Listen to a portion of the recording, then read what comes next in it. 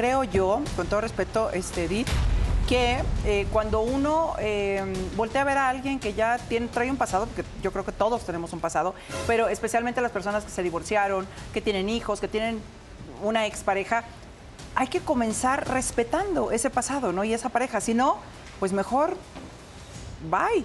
Seguimos el camino. Si ya tenía dos matrimonios y eh, hijos con esos dos matrimonios, pues tú lo, lo acep- lo aceptaste así. Según tú, la bronca es que ella pide dinero.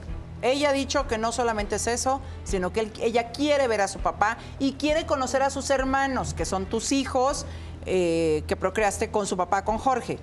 ¿Qué onda con su mamá? O sea, la mamá de Jorge, que es tu suegra. Sí.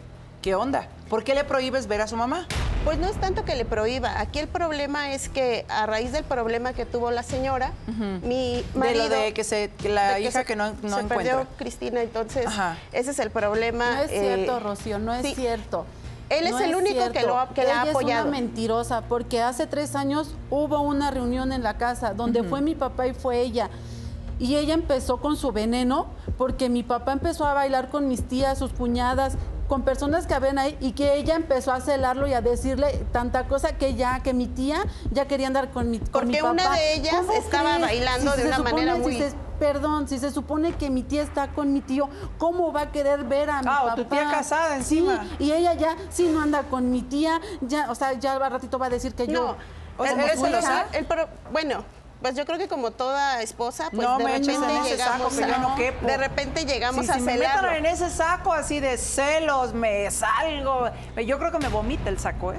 Es que Ah. aquí el problema es que esta señora empezó a bailar con él. O sea, él Ajá. va conmigo.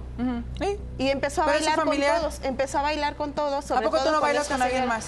A veces sí, pero si voy con mi pareja, pues primero estoy con mi pareja. Y obviamente también puedo convivir con En más bola, personas. se baila en bola Sí, bien a- puedo bien a convivir. gusto, ¿no? No, pero para eso esta señora se le empezó a, a no, pegar porque mucho. si ella fuera, ella es empezó a una jalar. cualquiera, porque ¿Le si no armaste, fuera ¿Le así- armaste pancho ahí en...? en- en- Pues sí le dije que, ¿En medio que, o sea, me respetara porque Ajá. estaba bailando de una ¿Y tú manera que la verdad no. ¿Tú respetaste a Pero Vero? se lo dijiste de buena onda, así de, oye, te estás Primero pasando, le dije que, que si iba conmigo, ¿por Ajá. qué no estaba conmigo? Pero ¿Qué así por las buenas, Sí, o sea, primero empezó por tranquilita. las buenas. Pero esta señora, yo creo que hasta para hacerme enojar, Ajá. empezó a pegarse más a él. O sea, yo digo, si estás Rocío, bailando, es mi tía. no tienes ¿Cómo que. crees? Está enferma la señora. Ella habla de respeto cuando no respetó a Vero, porque mi papá vivía bien con ella, vivía bien y yo me llevaba bien con Vero ella. es la segunda La esposa de tu segunda. papá. ¿Y tú? ¿Cómo? Tú te fuiste a meter Yo no, porque yo no me metí con ella. Ellos lo que llegaste, ellos dicen. ay, ellos dicen que yo me le metí. ¿no, yo, no me, yo no me le metí. Pero a ver, cuando tú conociste a Jorge, ¿él estaba casado con Verónica? Sí. Él ya se estaba separando No, de no. Verónica. ¿Estaba casado entonces todavía?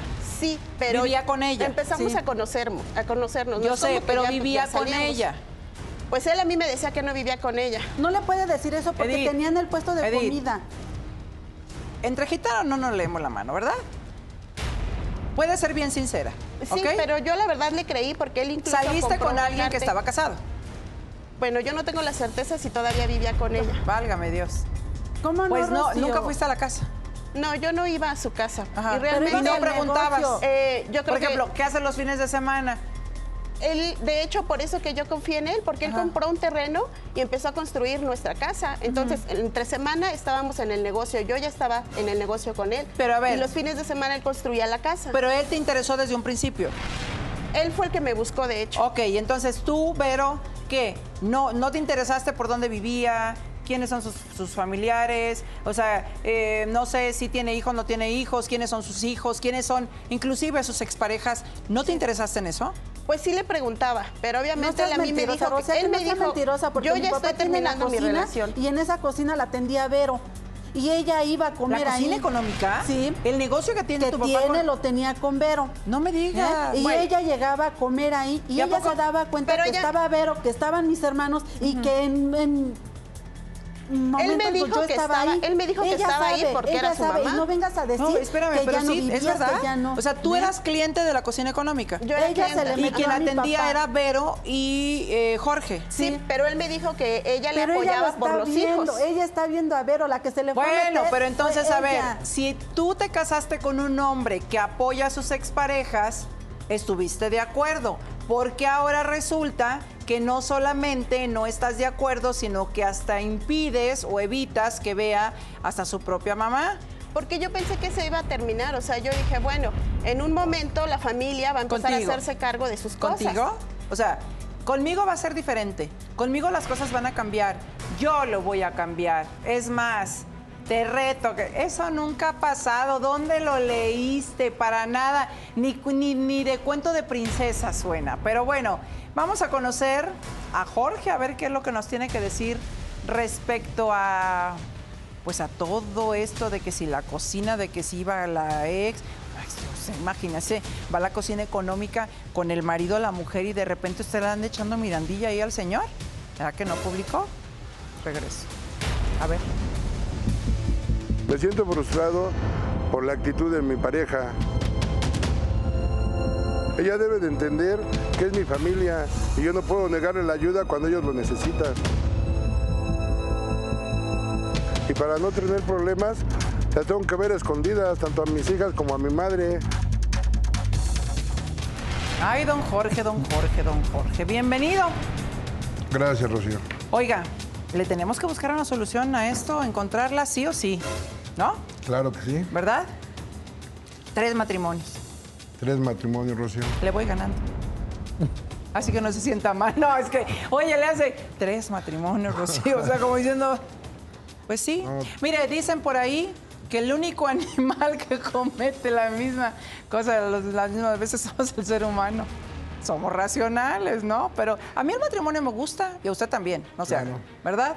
Pero bueno, vamos a hablar, esto para que se aligere, porque no venimos a atacar a nadie, ¿ok? Pero sí venimos a hablar lo que se tiene que hablar y a resolver lo que se tiene que resolver, don Jorge. Y aquí hay un reguero, dijeron en mi pueblo, que hay que levantar y dejar esa casa súper limpia. Voy a empezar por la mamá, ni siquiera por los hijos, que son súper importantes. La señora María. La señora María está angustiada, no solamente porque no sabe de su hija desde hace año y medio, sino que además la hija antes de desaparecer, ahí está el gato encerrado, Mario, yo creo. Porque, qué casualidad, que la señora tenía a sus hijos viviendo con ella, en Tula. Y un día va y los deja con su mamá. Desde entonces, desde que los dejó, ella desapareció. Hace año y medio. La pena de una madre de no saber dónde está su hija. Y la pena de una madre de no recibir la visita de un hijo tan querido como lo es usted, porque sé que es un buen hermano, sé que es un buen hijo, sé que ha sido un buen padre y que si en algún momento anduvo por ahí, que si le gustó más la alegría y demás, las agüitas que, que, que, que me dio a tonta y demás, ya logró salir de la adicción, pero ahora no se puede con tanto dentro. O sea, en algún momento usted, señor mío, va a explotar y no queremos eso. ¿Me permite hacer una pausita comercial para ver cómo es que vamos a empezar y de dónde, dó- por dónde le gustaría a usted que empezáramos? ¿Por la mamá? ¿Por los hijos? ¿Por su relación actual? Y, oiga, espéreme, y además tengo una pregunta que hacerle y eso ya, ya es chisme mío, ¿eh? O sea, no chisme, pero sí, estoy intrigada. Si sí seguía con Verónica cuando empezó con Edith. Sí, Rocío. Ándele, pues voy a la pausa. Ahora sí, gracias por sacarme de la intriga, porque yo digo, pues, soy conductor y soy periodista, pues soy ser humano, señores. Soy ser humano, también hay que investigar y hay que. Y qué mejor que se lo diga la persona que lo está viviendo, ¿no, público? ¿Y usted qué está viviendo? ¿Cómo le está pareciendo el tema? ¿Cómo lo resolvería? ¿Ya pasó por ahí? Código QR, voy, vengo, no se vaya.